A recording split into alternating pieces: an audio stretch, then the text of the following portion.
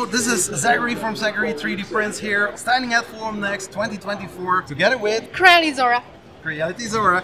And we are standing with the new Ender 5 Max. Yes. And it's not like the other Creality Ender 5s because there's something special with it. I already noticed that. What's over? Can Yeah. you please tell me more about the Creality Ender 5? Why not? So this is the Creality brand new Ender 5 series printer. It's called Ender 5 Max. Why they call mass Because definitely it's huge, like a giant printer. The build volume is 400 by 400 by 400. So that is very suitable for some like industrial things or the factory things. If you have some 3D printer farm, that would be work very well. The first one is the build volume is bigger, and second one have some little bit upgrade functions. Like this one, have a green light here, because you know when you have a 3D printing farm and you're printing with a house and something is wrong happening and you don't know which one, and uh, it's like will be when it's printing well, it will be still green.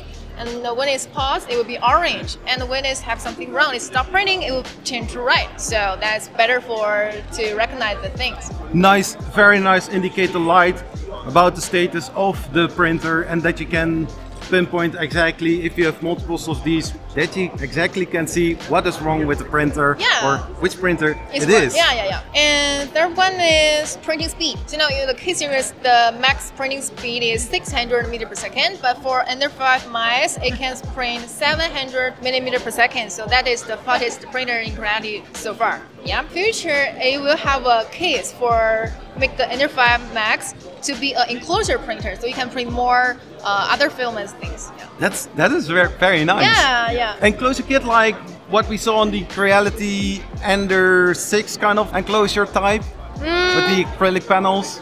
Um, maybe. Maybe okay. maybe. different kind of colors like pink or baby blue or Yeah, yeah, yeah. purple. Yeah. That would be nice as well. But of course, people can also see if they can enclose close it themselves Mm-hmm. with acrylic panels. Yeah, yeah. What makes this Creality Ender 5 Max different than the previous versions? I think that's too much. I just noticed it's uh, bigger. Um, It's bigger. It is a Core XY sys- motion system. uh, Unlike the other versions that we normally saw and assumed it was a Core XY, but it wasn't. This is a fully Core XY system. Very cool. And so, maybe I don't need to ask this, but I still want to Okay. raise the question. okay. There is between the Ender 5 and the Ender 5 Max, That's been like two or three years. Do you maybe know why this happened? Why it took so long? Mm, maybe for the Ender 5, you know, the Ender 5 series printers, uh, the outfit and the system is a li- little bit different than the Ender 3 series uh, and enclosure system. So I think mm, they want to make a bigger upgrade than the others before. So that's why, and we heard from a, a lots of users that they want a bigger size of the Ender 5 series. Someone have Ender 5 Plus or Pro, but they want a bigger one and have a great quality. And some this, uh, uh, I, I remember this function is heard from our users. Like, Wow. he is a farmer, like a 3D printing farmer. 3D print farmer. Yep, and uh, it a little bit confused to find which is something wrong. So yeah. It, it's a very nice uh, feature, especially if you're running print, print farm, to see exactly which printer has issues, or which one needs to be harvested. Yeah, yeah, yeah. Very cool.